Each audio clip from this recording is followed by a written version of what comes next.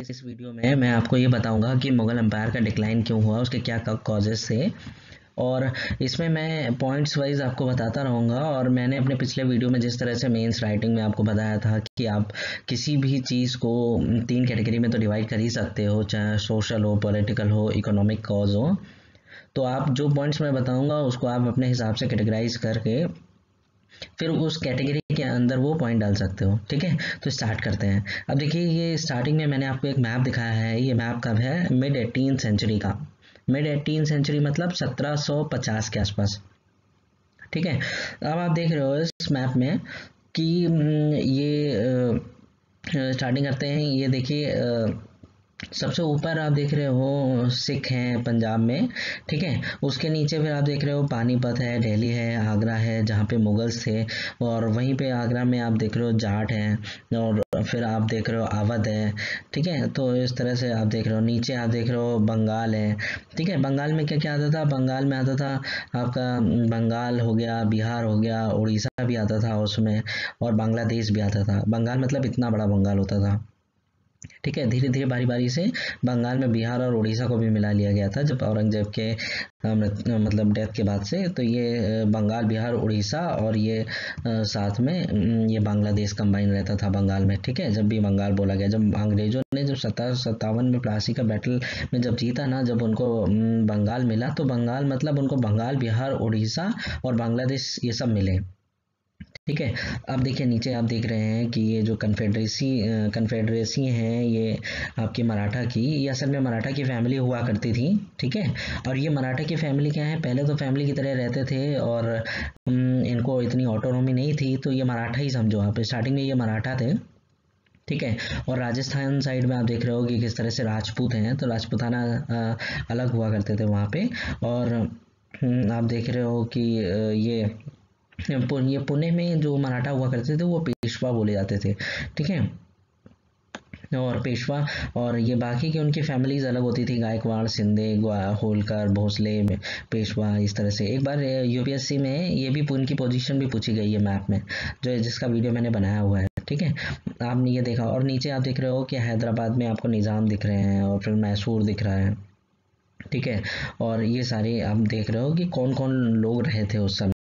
तो आपने देखा अब स्टार्ट करते हैं, आप देखोगे कि टाइम वाइज चल टाइम से चलते हैं। देखिए 1724-25 के आसपास क्या हुआ, जब औरंगज़ेब, जब मरा था 1707 में, उसके बाद के जो उसके सक्सेसर आए तो वो क्या कर रहे थे कि उस समय जो निज़ाम था, वो लॉयल था नॉबल था। एक नॉबल था वहाँ पे। नॉबल के बारे में नॉबल क्या होते हैं, मैंने इसका वीडियो बनाया हुआ है। ये नॉबल था और ये मतलब ये लॉयल था मुगलों के लिए, लेकिन इसको शक की नज़रों से देखा इसके सक्सेसर ने। तो ये क्या हुआ, ये नाराज़ होकर वहाँ से चला गया नीचे। नीचे मतलब साउथ में। अब साउथ में जाके इसने क्या किया कि इसने एक फाउंडेशन करी आसफ जाही डायनेस्टी की और ये एक हैदराबाद एक जगह बसाया, ठीक है? हैदराबाद का शासक बनाइए अब 1724-25 में जैसे निज़ाम हो गए, उसके बाद फिर आप देखोगे कि सत्रह में नादिर शाह ने अटैक किया था दिल्ली में, ठीक है? और उसके बाद आप देखोगे 1746 में अलीवर्दी खान जो ये बंगाल में जो नवाब हुआ करता था तो अलीवर्दी खान जब बना था तो अलीवर्दी खान ने मुगलों को ट्रिब्यूट देना, जो पैसे भिजवाते थे मुगलों को, वो देना बंद कर दिया था। ठीक है? 1746 में। उसके बाद आप देखोगे 1755 में आप देख रहे हो, Hyder Ali modernize troops with help of French French लोगों की मदद से हैदर अली ने ट्रूप्स को मॉडर्नाइज करना चालू कर दिया। ठीक है, पचपन के बाद आप आते हो सत्तावन में। सत्रह में प्लासी का बैटल हुआ, जैसा कि आप जानते हो। ठीक है, उसके बाद आप देखोगे, सत्रह के बाद सत्रह में अहमद शाह अब्दली जो अफगानी था, इसने मतलब अटैक किया।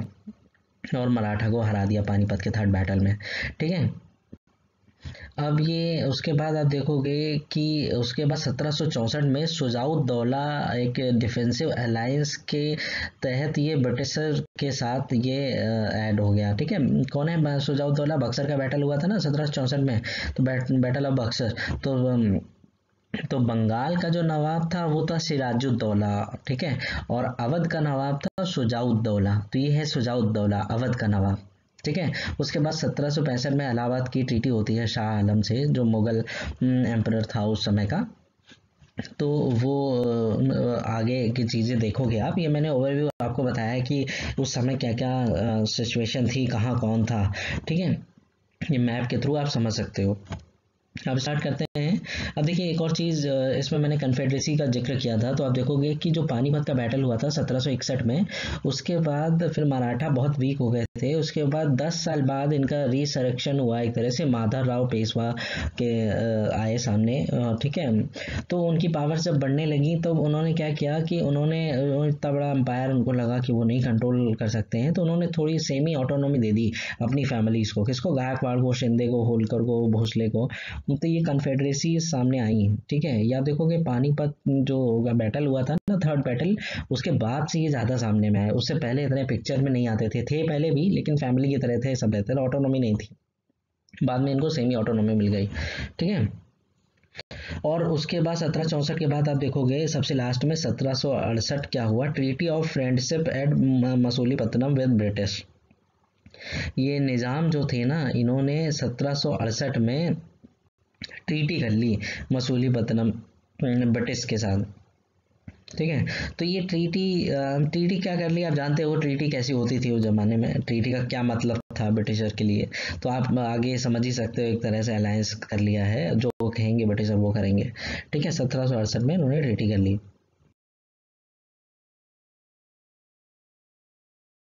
देखो ये जो Mughal central structure began to crumble in eighteen century with the death of Aurangzeb in 1707 ठीक है, सत्रह सात में औरंगज़ेब की डेथ के बाद से ही मुगल का जो सेंट्रल स्ट्रक्चर था ना, वो क्रम्बल करने लगा था। ठीक है, अब क्यों क्रम्बल करने लगा था? इसको आप कैटेगराइज कर सकते हो, जैसा कि मैंने पहले भी स्टार्टिंग में ही बता दिया था कि आप सोशल इकोनॉमिक पॉलिटिकल ये कुछ क्लासेस हैं इसमें आप अपने हिसाब से कर सकते हो ठीक है? डिवाइड कौन कौन से कॉजेस हैं। तो आप स्टार्ट करते हैं ठीक है? In spite of military and cultural achievement enable to create any national feeling और corporate spirit among its heterogeneous population अब देखिए पॉपुलेशन तो उस समय की हेट्रोजीनियस थी। औरंगज़ेब के बाद जो सक्सेसर आए तो um, वो क्या नहीं मैनेज नहीं कर पाए। और औरंगज़ेब ने भी कुछ ऐसा मतलब करके रखा था अपने टाइम पे कि वो जो हेट्रोजीनियस पॉपुलेशन थी, उनके अंदर नेशनल लेवल की फीलिंग नहीं थी, सिर्फ़ रीजनल थिंकिंग थी उनके अंदर कि हम अपने के मतलब जमींदार के लिए सगे हैं या अपने लोग, अपने कास्ट के लोगों के लिए सगे हैं, उनके अंदर नेशनल फीलिंग नहीं थी।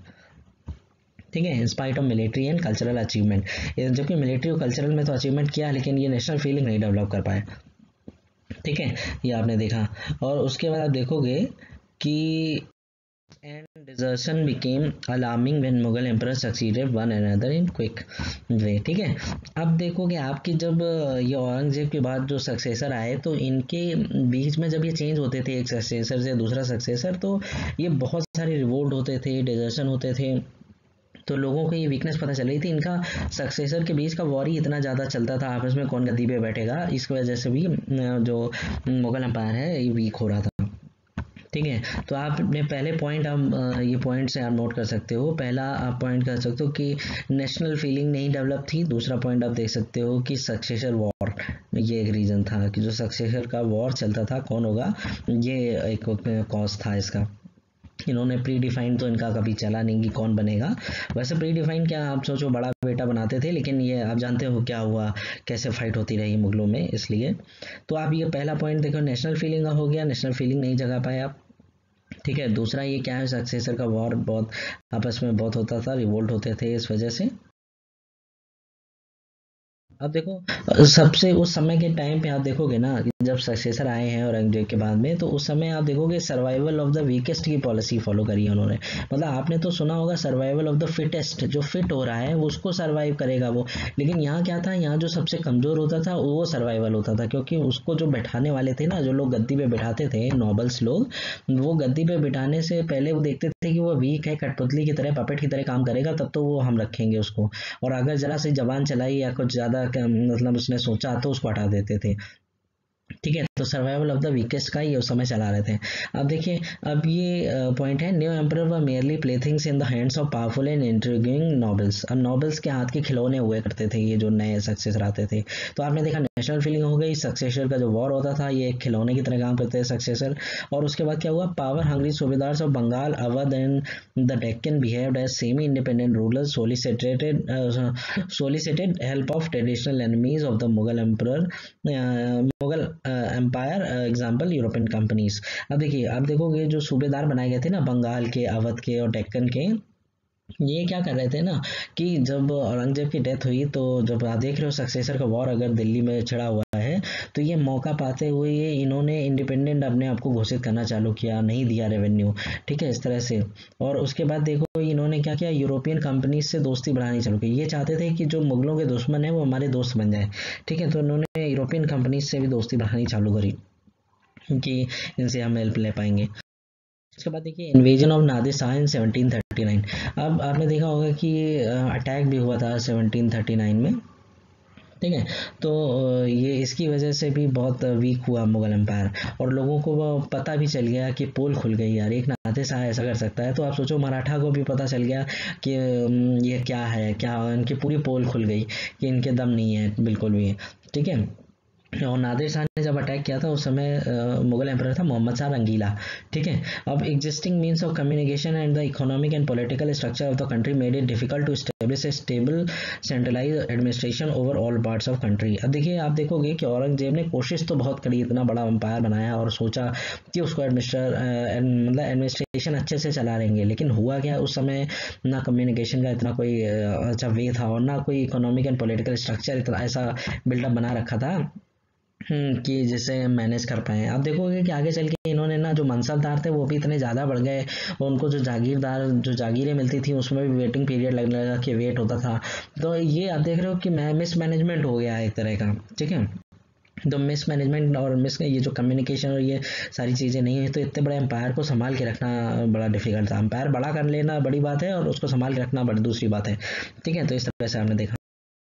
अब देखिए, Aurangzeb futile but arduous campaign against Marathas extended over many year ठीक है? औरंगज़ेब ने बहुत कोशिश करी मराठास को दबाने की। सबसे बड़ी गलती क्या थी कि आपको ये समझना चाहिए कि अगर सामने वाले के पास भी स्ट्रांग आर्मी है तो आप उसको फ्रेंडशिप कर लो।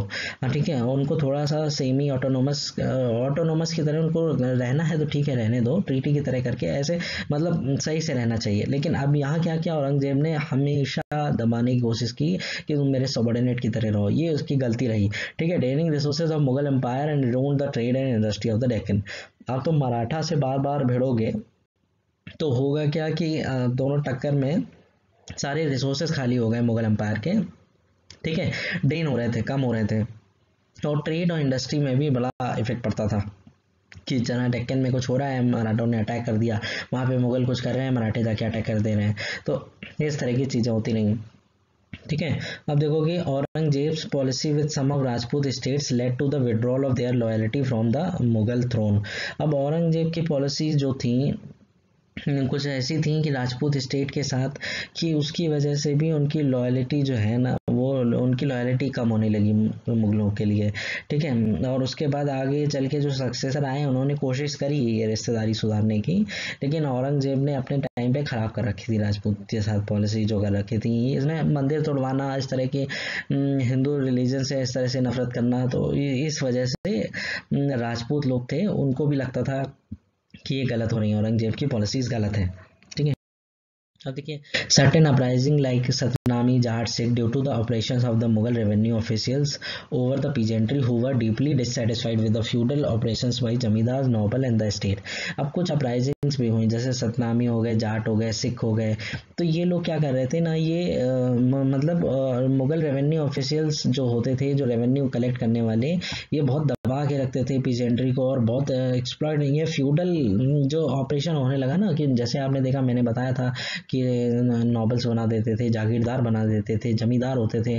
तो ये, इन्होंने ऑपरेशन अपना बढ़ा दिया कि हमको ज़्यादा से ज़्यादा रेवेन्यू रेवेन्यू हमको दो। अब देखिए, आपको मैंने एडमिनिस्ट्रेशन में बताया था कि इन्होंने ये डिसाइड कर रखा था कि आप कितना रेवेन्यू कलेक्ट करना है, ठीक है, अकबर के टाइम में टोडरमल की हेल्प से। लेकिन क्या होता था कि ये कोई लॉ नहीं मानते थे और अपने हिसाब से वसूल रहे को। तो पीजेंट्री के भी रिवोल्ट अपराइजिंग होती थी। ठीक है, ये भी एक रीज़न था। अब देखिए रिलीजियस पॉलिसीज़ ऑफ़ औरंगज़ेब, अब रिलीजियस पॉलिसी थी औरंगज़ेब की डिस्ट्रॉइंग हिंदू टेम्पल्स एक्सेट्रा अब ये इस तरह की जो चीज़ें करी उसने तो उससे widening the gulf between the Hindu and the Muslim upper class Hindu Muslim upper class के बीच में बहुत गैप क्रिएट कर गया Aurangzeb. Although he successor abandon this policy अब बाद में उसके सक्सेसर आए, उन्होंने ऐसा नहीं किया, उन्होंने सुधारने की कोशिश करी कि इस तरह की गलतियाँ ना हो। ठीक है? बात आप देखो। Some successors were weak willed and luxury loving अब जो सक्सेसर आते थे, उनमें भी कमियाँ रहती थी। वो क्या होते थे? वीक विल्ड मतलब वो कमज़ोर विल पावर थी उनकी और लग्जरी बहुत पसंद थी उनकी, उनको। ठीक है? और जो कैरेक्टर ऑफ़ नोबिलिटी जो थी नोबल जो बैकबोन हुआ करते थे ना, जो नोबल मुगल एम्पर में, वो आप समझो कि नोबल मनसबदार, ये समझो आप, ये ये डिटेरी और मतलब किस तरह से इनका डेट्रियोरेट हो रहे थे तो ये आप देखोगे कि इनका क्या एक्स्ट्रा वेकेंट बिहेवियर हो गया था, बहुत खर्चा करने लगे थे लिविंग बियॉन्ड मीन्स बहुत ज़्यादा खर्चा करते थे। Ease loving and fond of excessive luxury luxury बहुत पसंद थी उनको. Surrounded by family and comfort even when fighting अब तो तुम फाइट करने जा रहे हो, तब भी तुमको फैमिली ले जानी है कंफर्ट ध्यान रखना है. तो ये ये चीज़ थी. पुअरली एजुकेटेड होते थे. ठीक है एग्जिस्टिंग फैमिलीज़ और नॉवल्स मोनोपोलाइज ऑल ऑफ़िस अब क्या होता था कि जो बाद में जो नॉवल पहले तो अकबर के टाइम पे आपने देखा टैलेंट के बेसिस पे नॉवल बनते थे, मनसबदार बनते थे. लेकिन इन्होंने क्या किया कि इन्होंने इसको बनाने के लिए अब तो अपनी अपने हिसाब से चलेंगे नॉबल पावरफुल और हैं क्योंकि जो पपेट बिठा रखा है गद्दी पे तो वो तो कुछ बोलेगा नहीं तो ये ये इन्होंने क्या किया नॉबल्स ने हम्म, खूब मतलब मोनोपलाइज कर लिया अपने ऑफ़िस के। हम ही अब देखेंगे और हमारे बाद कोई नई एंट्री नहीं घुसने देते थे कि नया कोई रिक्रूटमेंट हो रहा है फ्रेश रिक्रूटमेंट जो है उन्हीं के रिश्तेदार आ जाएँगे। ठीक है try to make post of noble hereditary इन्होंने जो नोबेल की पोस्ट थी ना, वो हेरिडेटरी बनाने की कोशिश करी। जबकि पहले क्या था, वो नोबेल मतलब मनसबदारी मतलब कुछ जिनकी मनसबदारी ज़्यादा होती थी, उनको नोबेल बोलते थे, आप ऐसा समझो। मैंने ये बताया हुआ है अपने मिडिवल के जो एक सोशल इकोनॉमिक कंडीशन वाले वीडियो में। आपने देखा। और promoting their own interest even if talented कई बार क्या होता था कि सारे नॉवल तो नहीं खराब थे, कुछ कुछ टैलेंटेड होते थे, जिनमें स्किल्स होती थी, लेकिन वो लॉयल्टी नहीं थी उनके अंदर। वो अपने लिए सोचते थे, अपना पर्सनल इंटरेस्ट देखते थे, वो इसलिए उनके अंदर यूनिटी नहीं थी लॉयल्टी नहीं थी इतनी कि मुगलों के लिए लॉयल रहें। अब cause of growing selfishness and cliqueness of nobles अब ये नॉबल जो थे, आप देखोगे, मैंने ये कमी तो बता दी कि नॉबल जो थे थे कमियाँ थी उनमें। लेकिन ये कमियाँ क्यों थी? इतने लालची क्यों हो गए? तो ये आप देखोगे पॉजिटिव ऑफ़ जागीर। जागीर जो थे, उनकी कमी हो रही थी जागीर। अब इतने इतने मनसबदार, इतने नॉबल्स बढ़ते जा रहे हैं नंबर उनके तो कहाँ तक जागीरें देंगे उनको? ठीक है reduce income of existing jagir when number of nobles and their expenditure was increasing मतलब आप देखोगे कि जो एग्जिस्टिंग जागीर थी, उनकी इनकम कम होती जा रही है। ठीक है? और number of nobles and their expenditure noble हैं जो उनके जो एक्सपेंडिचर है, वो बढ़ता जा रहा है, ठीक है? और नॉवल्स की संख्या भी बढ़ती जा रही है, ज़्यादा से ज़्यादा नॉवल हायर कर रहे हैं, ज़्यादा से ज़्यादा नॉवल रिश्तेदारों को शामिल कर लो, ठीक है? नॉवल बढ़ रहे हैं not sufficient number of office and jagirs for all nobles अब नॉवल जो थे, उनके पास जितने नॉवल होते थे, उनके, उनको देने के लिए सफिशियंट नंबर में ऑफ़िस और जागी नहीं बची थी। To balance their own budget they tended to appropriate khalsa land ठीक है? अब वो क्या होता था? कई बार उनको अपना बजट जब लगता था कि हमारा बजट बिगड़ रहा है तो वो क्या करते थे? जो खालसा लैंड होती थी ना खालसा लैंड वो लैंड होती है जिसमें, जिसका जो पैसा आता है रेवेन्यू आता है, वो डायरेक्ट जाता है। किसको? वो डायरेक्ट जाता है कि जो क्राउन को, ठीक है? क्राउन मतलब आप समझो, जैसे सेंट्रल गवर्नमेंट का होता है ना, ऐसे टैक्स जो सेंट्रल गवर्नमेंट को जाते हैं। और जागीरदार ऐसे समझो जैसे स्टेट गवर्नमेंट को जाते हैं, ठीक है? तो ये सेंट्रल टैक्स है। तो कालीसा लैंड का जो था, उस उस सेंट्रल टैक्स का जो पैसा होता था, उससे भी ये अप्रोप्रिएट कर लेते थे, ठीक है? तो intensifying financial crisis of central government अब सेंट्रल गवर्नमेंट में ये फाइनेंशियल क्राइसिस करते रहे। ठीक है reduce their expenditure by not maintaining their full quota of troops अब ये इनको लगता था कि एक्सपेंडिचर हमारे अयासी ना कम हो तो इन्होंने क्या किया ट्रूप्स अपने कम कर दिए। और उनकी सैलरी तो ले रहे थे, लेकिन उनको ट्रूप्स नहीं रख रहे थे उतने। उस तो उससे आर्मी वीक हो रही थी। ठीक है? अब देखिए burden of land revenue went on increasing from Akbar time Akbar के टाइम से ही लैंड रेवेन्यू का जो बर्डन था, वो बढ़ता जाता है। देखिए, जब भी कोई, आप देखोगे ना कि जब भी किसी एम्पायर में, किसी पीरियड में वॉर ज़्यादा होंगे, लड़ाई ज़्यादा होंगी तो उसमें खर्चा ज़्यादा लगता है। तो टैक्स कलेक्शन भी बढ़ा देते हैं वो, ठीक है? तो आप देखो कि अकबर के टाइम के बाद से ये लगातार ये लैंड रेवेन्यू बढ़ता रहा। Constant transfer of nobles from their jagir. अब जो नॉवल होते थे, उनको जागीर से ट्रांसफ़र किया जाता था। तो so they try to extend as much from a jagir as possible in their short tenure as jagirdar an in violation of official regulation तो उनको लगता था कि हम ज़्यादा कुछ टाइम के लिए यहाँ पे हैं तो पूरा लूट लें, ज़्यादा ज़्यादा वसूल लें। ठीक है? क्योंकि उनको पता था कि हम ज़्यादा वसूलेंगे तो जो कॉन्सिक्वेंसेज होंगे, जो हमारे बाद में आएगा, वो देखेगा। हम तो लूट के चले जाएँ कम से कम। ठीक है? After the death of Aurangzeb the practice of ijara और farming the land revenue to the highest bidder who was permitted to raise what he could from the peasantry became more common both on jagir and khalsa land अब देखिए औरंगज़ेब की death के बाद जो successor आए ना, उन्होंने क्या किया कि एक तरह से इजारा नाम की एक चीज़ उन्होंने लागू करी और जिसमें क्या था फ़ार्मिंग द लैंड रेवेन्यू वो क्या करते थे कि जो बिडिंग होती थी ये वो बिडिंग कराते थे कि कौन सबसे ज़्यादा से ज़्यादा हमको टैक्स वसूल करके देगा रेवेन्यू वसूल करके देगा, ठीक है? तो farming the land revenue to the highest bidder जो सबसे ज़्यादा नीलामी में बोली लगाता था, उसको देते थे। और who was permitted to raise what he could जितना वो वसूल सकता था खून चूस के, वो वसूल ले, और became more common both on jagir और खालसा। और जागीर और खालसा लैंड दोनों में ऐसा परमिशन दे दी उन्होंने खून चूस के तुम पूरा निकाल लो और हमारा रेवेन्यू हमको दे दो। मैक्सिमम जो देगा, उसको अपॉइंट कर लेंगे हम रेवेन्यू फार्मर ठीक है? ये आप देखोगे। और this led to the rise of new class of revenue farmers and taluqdars whose extortion from the peasantry often knew no bound इसकी वजह से ना एक ये नया क्लास जनरेट हुआ, कौन सा? रेवेन्यू फार्मर्स का। वो एक फार्मर तो होते हैं, जो कल्टिवेटर होते हैं। एक फार्मर ये रेवेन्यू फार्मर रेवेन्यू फ़ार्मिंग करेंगे। रेवेन्यू फ़ार्मिंग के लिए नीलामी होने लगी, ठीक है? इनको तालुकदार भी बोलते थे। और इन्होंने बहुत वसूली करी है, गलत तरीके से। अब देखिए all this factors led to the stagnation and deterioration in agriculture and the empowerment of peasant अब ये सारे फैक्टर्स जो थे, इससे स्टैग्नेशन आ गया, ठीक है एग्रीकल्चर में। और डेटरियोरेशन भी आ गया एग्रीकल्चर में, किस तरह से? The empowerment of the peasant peasant कैसे गरीब हो रहे थे? Peasant leaving living land to avoid paying tax कई बार इतना खून चूस के इनके जब रेवेन्यू फार्मर से पैसे वसूल पाओगे तो ये अपना लैंड छोड़ के जाने लगे अपराइजिंग स्विंग जैसे सतनामीज की, जाट्स की, सिक्स की many ruin peasant became robbers of and under the leadership of zamindar. ठीक है? दस अंडरमाइनिंग लॉ एंड ऑर्डर कुछ ऐसे थे जो पीजेंट थे जो जमींदारों के लीडरशिप में वो रॉबर बन गए। ठीक है? लूट पाट प्लैंडरिंग करने लगे और इस तरह लॉ एंड ऑर्डर को उन्होंने ख़राब किया। ठीक है? एग्रीकल्चर अब एग्रीकल्चर से सरप्लस नहीं बन रहा था। क्यों नहीं बन रहा था सरप्लस क्योंकि कांस्टेंट वारफेयर लगातार लड़ाई हो रही है सक्सेसिव के लिए वॉर हो रहा है। और भी अटैक हो रहे हैं।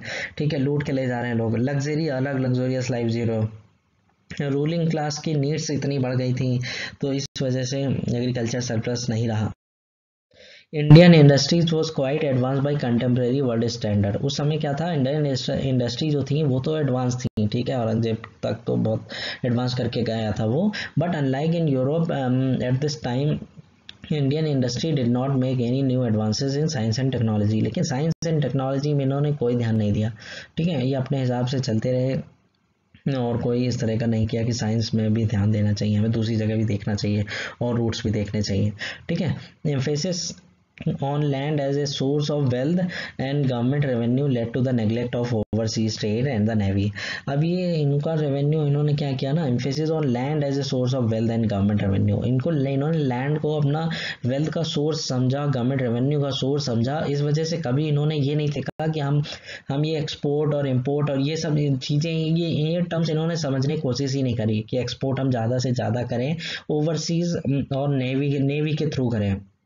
इन्होंने ये इस पर ध्यान नहीं दिया। इनको क्या लगता था कि लैंड से रेवेन्यू आ जाए हमारा सब ज़्यादा से ज़्यादा और हमें बाकी उनको टेंशन नहीं है। लैंड से वसूल लेंगे, ठीक है?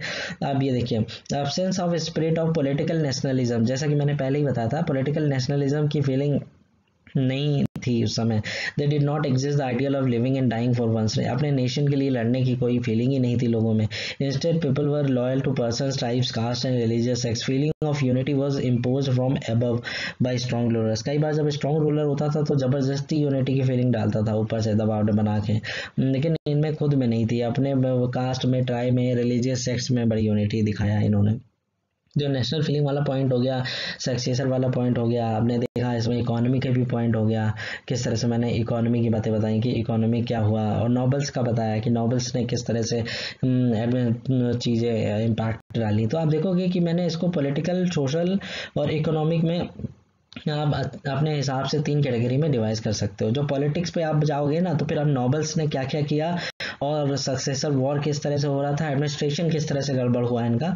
इस पर पॉइंट आउट करोगे, ठीक है? सोशल कंडीशन में आप देखोगे कि पीजेंट्स के रिवोल्ट हो रहे हैं, ठीक है? किस तरह से पीजेंट्स के रिवोल्ट हो रहे हैं? किस तरह की कंडीशन खराब हो रही लोगों की? और इकोनॉमिक तो ज़्यादातर इकोनॉमिक में भी आप देख रहे हो जिस तरह से ये हो रहा है कि कि टेक्नोलॉजी में ध्यान नहीं दे रहे हैं तो इकोनॉमी इकोनॉमी कैसे बूस्ट होगी? ठीक है नेशनलिज्म की भावना जो थी, ये सोशल कॉज में आप बता सकते हो कि सोशल कॉज था कि नेशनलिज्म की फीलिंग नहीं भरी है तो क्या लड़ेंगे लोग? देखो even those who against empire और for example the Marathas the Jats and the Rajput were interested in consolidating their regional tribal and personal power and had no notion of fighting for a nation called India और its unity जो आप देखोगे कि कई सारे example आपको दिखेंगे, जैसे मराठा हो गए जाट हो गए राजपूत हो गए, ये ये भी जब भी रेबल करते थे ना तो इनका भी कभी भी ये थॉट नहीं रहता था। ये अपने रीजनल पावर रीजनल लेवल की पावर को पर्सनल पावर को कंसोलिडेट करने पर लगे रहते थे। इन्होंने कभी इस तरह की फीलिंग नहीं रखी कि इंडिया में पूरा इंडिया इन्हीं का है और यूनिटी यूनिफाई यूनिफिकेशन करने की कोशिश नहीं करी। ठीक है? और उसके बाद देखोगे तो zamindar tended to rebel against any central authority which showed sign of weakness अब जमी जमींदार जो होते थे ठीक है? अब जमींदार जो थे उन्होंने रिबल करना स्टार्ट कर दिया सेंट्रल अथॉरिटी के लिए कि उनको टैक्स पहले क्या मैंने आपको बताया आपने जो सोशल और इकोनॉमिक सिस्टम बताया था तो मैंने बताया था कि ज़मींदार क्या होते थे कि ज़मींदार हम्म, किसी गाँव में है और वहाँ गाँव में वो रेवेन्यू कलेक्ट करके और वो देंगे जागीरदार को, ठीक है? और अगर खालसा लैंड होगी तो सीधे सेंट्रल में चली जाएगी। तो इंटरमीडिएट की तरह ज़मींदार थे, ठीक है?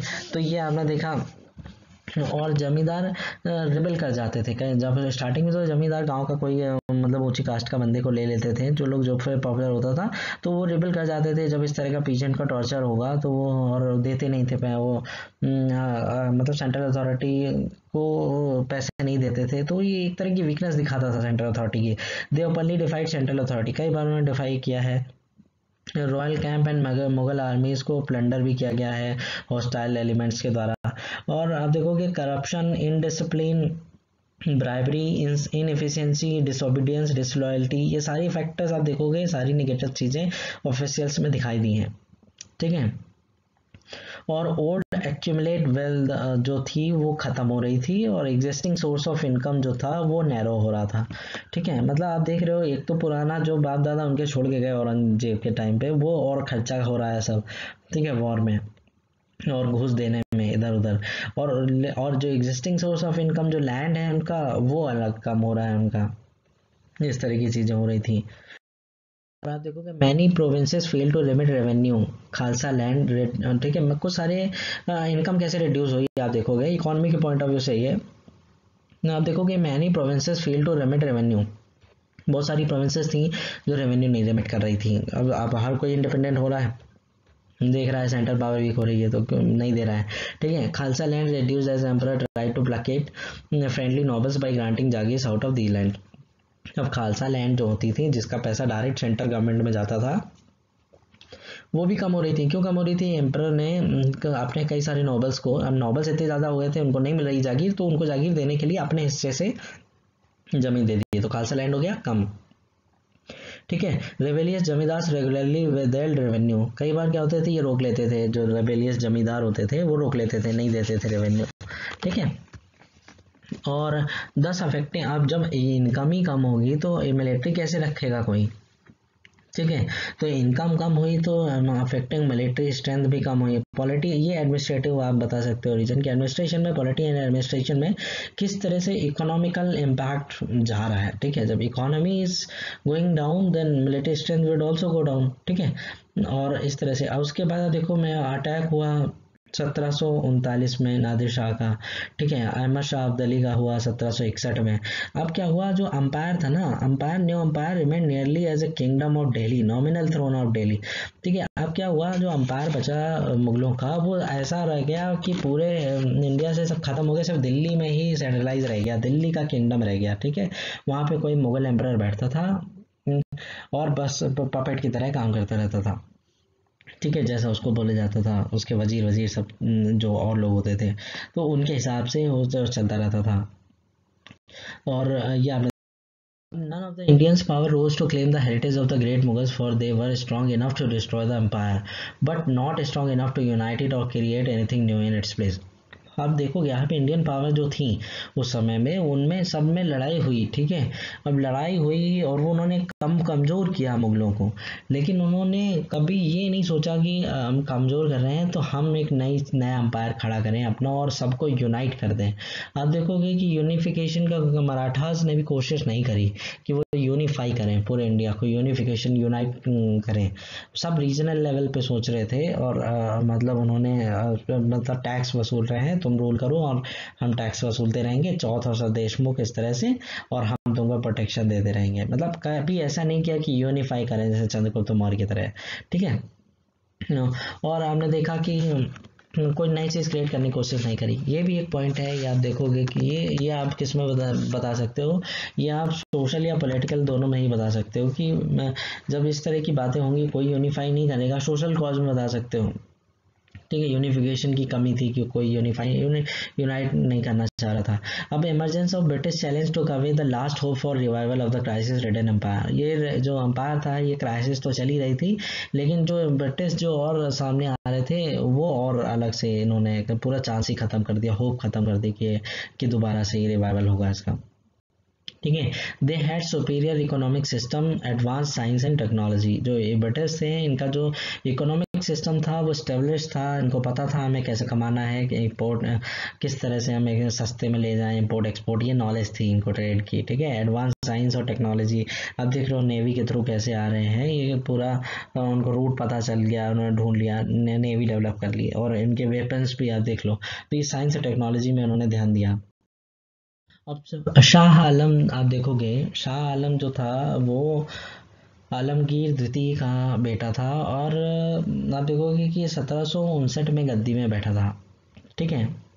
और आप देखोगे, राइट साइड में देखो कि it was 1759 and prince Ali Gauhar इसका नाम था प्रिंस अली गौहर स्टार्टिंग में, और बाद में जब बैठा तो शाह आलम द्वितीय के गद्दी, के नाम से गद्दी में बैठा। But he was not entirely out of danger लेकिन उसमें भी खतरा था। His Rohilla Afghan feudatories of upper Doab ठीक है? अपर दुआब एरिया में जो रोहिल्ला अफगान सामंत हुआ करते थे एंड रोहिल खंड में जो सामंत थे, वो बहुत खतरनाक थे, उनसे ही डरता रहता था। They also became too powerful and close to the Afghan emperor Abdali Afghan का जो एम्पर था ना एम एस अब्दली उससे इनकी मतलब दोस्ती रहती थी तो इस वजह से ये इसको फियर रहता था कि कहीं अफगान लोग जो हम पे अटैक ना करते हैं हमको भगाना थे यहाँ से। ठीक है? तो they also became to one और ये Awadh where he remained in exile ये जो था ना, ये अवध में एग्जाइल वनवास की तरह काट रहा था, अवध में था ये। Was ruled by his feudatory nawab Shuja nawab जो के अवध का नवाब सुजाउद्दौला है तो अब सुजाउद्दौला के पास ये जाके रहा कुछ टाइम पे अवध में, और ये एग्जाइल मतलब वनवासी की तरह रहा। निकल के अपने अपने मतलब दिल्ली में सिंगा, नहीं बैठा अपनी गद्दी में।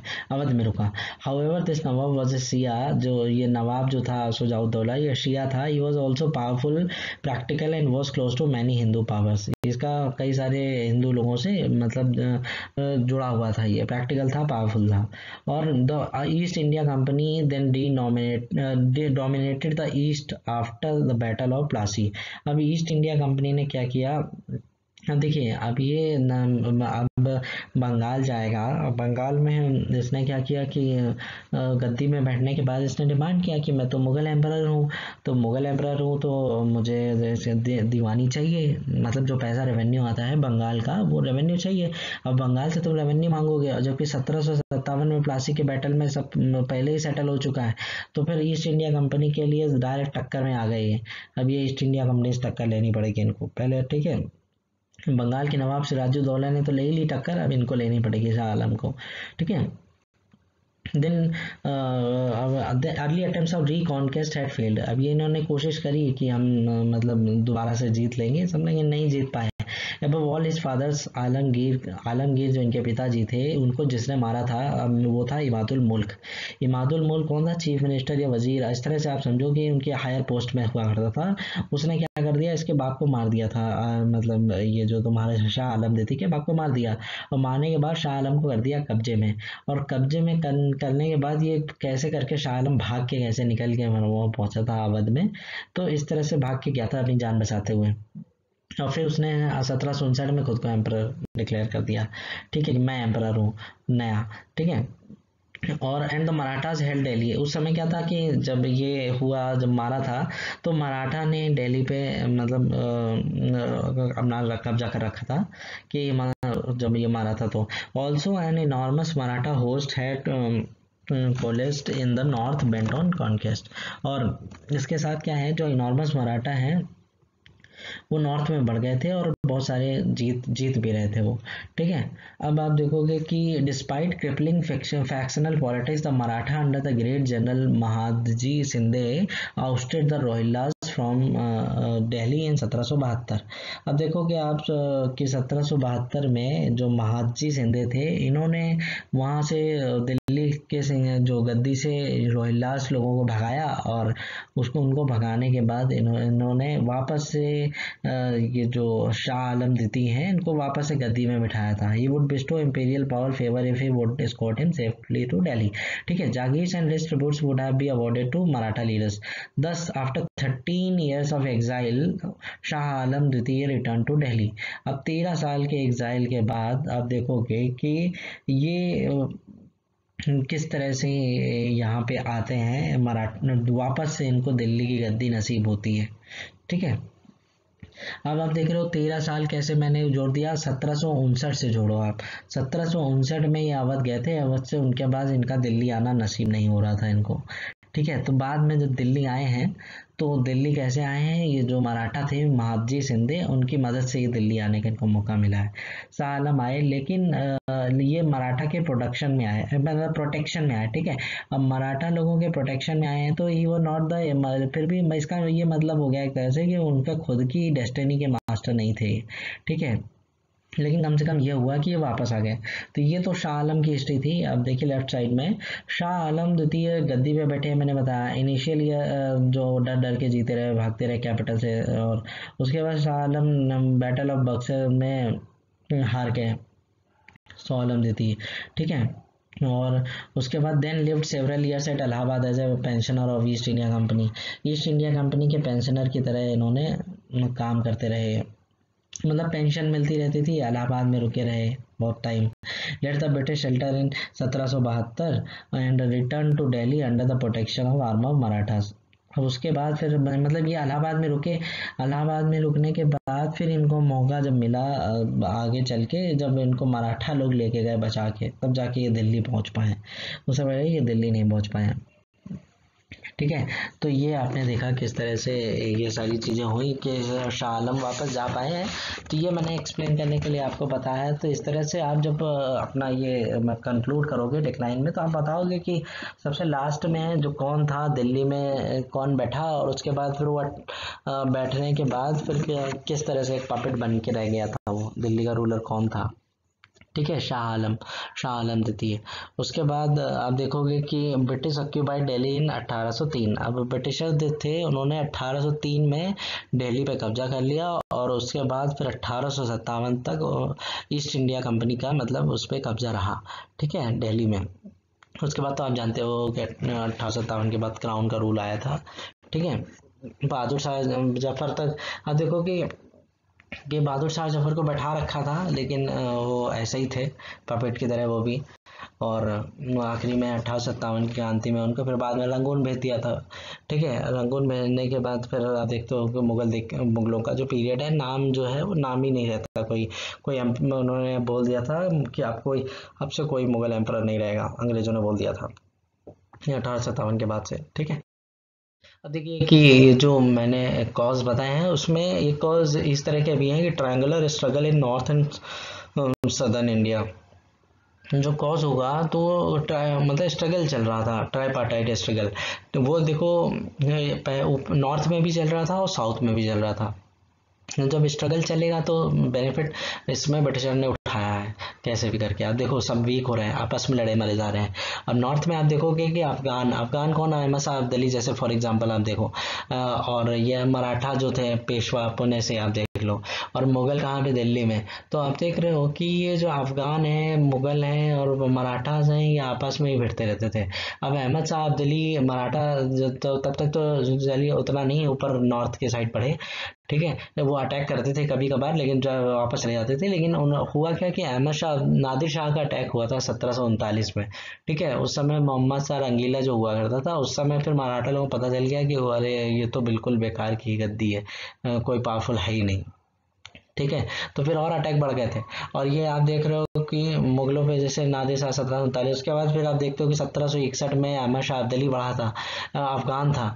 तो और उससे पहले ये अहमद शाह अब्दली बीच में भी आया। जैसे Ahmad Shah Abdali invaded India seven times from सत्रह सौ अड़तालीस से सत्रह सत्रह सौ लेके सत्रह सौ सड़सठ तक वो सात बार आया। उसने सात बार अटैक किया। लूटपाट करी, आगरा, मथुरा, दिल्ली जहाँ मिल जाता था, उसको लूटपाट करता था, भाग जाता था। ठीक है? और 1761 में जब वो आ रहा था तो आप देखोगे कि वो मतलब जो मराठास हैं, उनसे उसकी लड़ाई हुई थी। तो 1761 में पानीपत का थर्ड बैटल हुआ था। ठीक है? ये आपने देखा कि मराठा जो है, मराठा अपनी रीच बढ़ा रहे थे। जब उनको लगा मराठा को कि सत्रह में नादिर शाह जो है, वो हार गया तो अब उनको रीच बढ़ाएँगे ऊपर।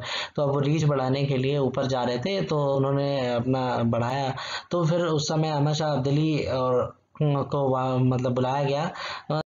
दिल्ली में एक था तो उसने बुलाया अहमद साहब दिल्ली अफगान को कि यहाँ पे आके इन लोगों को मतलब ठीक करो। ठीक है तो फिर अहमद शाह दिल्ली आया तो फिर मराठों से लड़वाना चाह रहा था वो। आपने पानीपत थर्ड मूवी आप देखनी चाहिए आपको, उसमें पूरा क्लियर होगा आपको। ठीक है तो किस तरह से ये लड़ाई हुई पानीपत का थर्ड बैटल हुआ तो ये भी आप उस पॉइंट में दिखा सकते हो कि कॉज ऑफ़ जो डिक्लाइन ऑफ़ मुगल एरा था, वो इस वजह से हुआ। ठीक है? अब देखिए कि नादिर शाह जो ने अटैक किया था तो मोहम्मद शाह रंगीला था जो फ़ोटो बनी हुई है लेफ़्ट साइड में। और अब कि जब मुगल एम्पर शाह आलम द्वितीय था made futile attempt to reverse the Mughal decline but ultimately had to seek the protection of Amir of Afghanistan Ahmad Shah Abdali, which led to the third battle of Panipat between the Marathas Empire and Afghans led by Abdali in 1761 में। उसने बहुत कोशिश करी जो शाह आलम था सत्रह से अठारह तक रहा। उसने बहुत कोशिश करी कि वो मतलब मुगल डिक्लाइन को ना होने दे ठीक है लेकिन वो नहीं कर पाया। आखिरकार उसको प्रोटेक्शन लेना पड़ा अहमद शाह अब्दली का। फिर बाद में पानीपत का थर्ड बैटल हुआ ठीक है ये आप देख अब आप ये देखो कि ये नॉर्थ का मैंने बता दिया है। अब साउथ में क्या था? साउथ में आप देखोगे कि दो तरह के फाइट चल रही थी ट्राइपार्टाइट स्ट्रगल चल रहा था। एक तो मराठा, निज़ाम और मैसूर के तीन आपस में भिड़े जा रहे थे, ठीक है? और ऊपर से ये जो यूरोपियन कंपनीज़ थी डच इंग्लिश और फ्रेंच ये आपस में लड़े जा रहे थे। अब देखोगे कि जब ये पुर्तगाली आए थे, आप देखोगे पुर्तगाली क्यों नहीं है इसमें? क्योंकि डच ने एलिमिनेट कर दिया था पुर्तगाली इसको, इंडिया से और इंडोनेशिया से, दोनों से। लेकिन हुआ क्या कि ये बाद में फिर ये फोकस नहीं कर पा रहे थे स्ट्रगल इतना ज़्यादा हो रहा था फाइट हो रहे थे इंग्लिश फ्रेंच और ये सब के चक्कर में। तो ये डच क्या हुआ? Withdraw from India and concentrated their attention upon spice island मतलब इंडोनेशिया या इंडिया से चले गए डच और फिर इन्होंने ध्यान दिया इंडोनेशिया पे.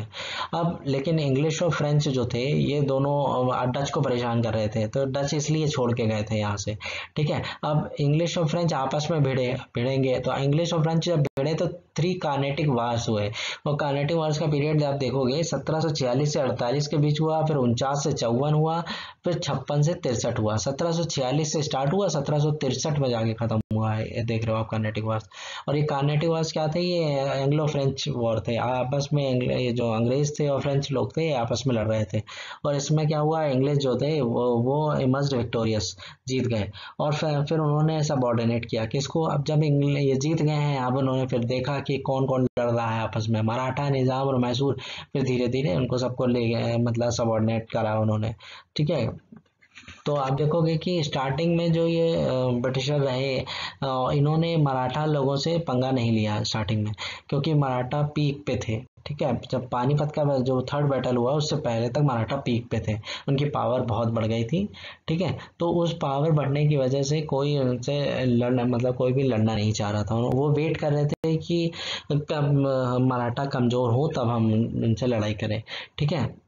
तो आप देखोगे कि उसके बाद फिर आंग्ल मराठा हुए, आंग्ल मैसूर हुए, फिर, इस तरह के आंग्ल सिख वॉर हुआ, फिर ठीक है, आंग्ल मराठा, आंग्ल मैसूर, फिर आंग्ल सिख, इस तरह के उन्होंने बाकी किया। निज़ाम ने तो ट्रीटी कर ली थी तो निज़ाम से तो उनको लड़ाई लड़ाई नहीं करी उन्होंने, ठीक है? तो ये हो गया।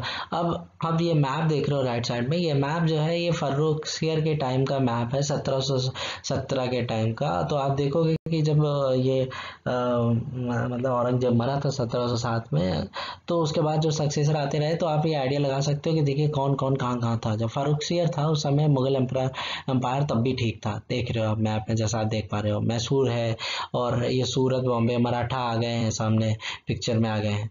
ठीक है, नवाब बंगाल है, ठीक है। और ये विशाखापत्तनम, मसूलीपत्तनम, और ये आप देख रहे हो, नवाब ऑफ़ कार्नेटिक देख रहे हो आप कहाँ पे है? नवाब कार्नेटिक के नवाब। मदुरई के नायक कहाँ है? तंजौर कहाँ पे है? और ये आप देख रहे हो आराकान देखिए, अहोम कहाँ पे मणिपुर, सिक्किम इस तरह से आप देख पा रहे हो, पूरा मैप है ये। और साउथ पोर्शन पे फोकस करते हैं तो आप देखोगे कि ये पेशवा की टेरिटरी दिख रही है आपको, मैसूर दिख रहा है और त्रावणकोर दिख रहा है। आंग्ल मैसूर जो युद्ध हुआ था, वो आप देखो, पहला कब हुआ? सत्रह से लेके सत्रह के बीच और फिर हुआ 1780 से सत्रह सौ चौरासी के बीच दूसरा हुआ। ठीक है आंग्ल मैसूर, ये हैदर अली और टीपू सुल्तान जो है मैसूर से ही थे तो इनसे मतलब इनकी लड़ाई हुई। ठीक है तो इनको इन्होंने पहले नॉर्थ में पूरा कब्जा किया, फिर नॉर्थ में करने के बाद, फिर मतलब ये मराठा को हराने के बाद, फिर ये नीचे जब साउथ में इन्होंने जो देख रहे थे, फाइट, फिर उनको उन्होंने छेड़ना चालू किया। ठीक है तो ये आपने देखा। But the second decade of 19th century that is uh, till 1820 whole of india bearing state of assam northeast and punjab and sindh northwest past under direct British rule और इंग्लिश प्रोटेक्टरेट 1820 तक आप देखोगे कि पूरा का पूरा India मतलब इनके कब्जे में आ चुका था 1820 तक। ठीक है? और क्या रह गया था इनसे? इनसे रह गया था पंजाब सिंध और ये असम रह गया था। ठीक है? बाकी इन्होंने पूरा कब्जा कर रखा था। तो आप देखोगे ईस्ट इंडिया कंपनी ने इन पे कब कब्जा किया? तो सबसे पहले गंजा कब्जा किया इन्होंने आसाम में, अराकान में और ये आपका टेनासरी में। ये 1824 में किया, ठीक है? 1824 करने के बाद आसाम के बाद आप देखोगे इन्होंने और ए एस पे मतलब सिंध पे किया, अठारह में अटैक किया, ठीक है? ऐसे उसको मिला लिया एनेक्स कर लिया। फिर पंजाब को अठारह सौ उनचास में एनेक्स किया। फिर इन्होंने बर्मा, ठीक है? बर्मा क्या मतलब? म्यांमार। म्यांमार को इन्होंने एक मतलब का अठारह सौ बावन में किया। तो आप देखोगे इसका सीक्वेंस क्या है? ए एस पी एल ठीक है? तो A S P L Assam, Sindh, Punjab और लोअर बर्मा, ठीक है? एएसपी तो आप याद रखो, जैसे असिस्टेंट होता है ना असिस्टेंट सुप्रिटेंडेंट ऑफ़ पुलिस मतलब इस तरह से समझो टीएसपी एएसपी ठीक है एएसपी असम सिंध और पंजाब ठीक है तो ईस्ट इंडिया कंपनी ने फिर धीरे धीरे कब्जा, इन पे कब्जा किया। Lord Dalhousie's annexation gave the map of modern India Lord Dalhousie ने जो और बाद में अनेक्सेशन किए तो उससे मैप आज का जो मैप दिखता है, वो दिखाई देता है, ठीक है। तो फ्रेंड्स अगर मेरा वीडियो आपको अच्छा लगा हो तो इसे लाइक करें और सब्सक्राइब करें। Thank you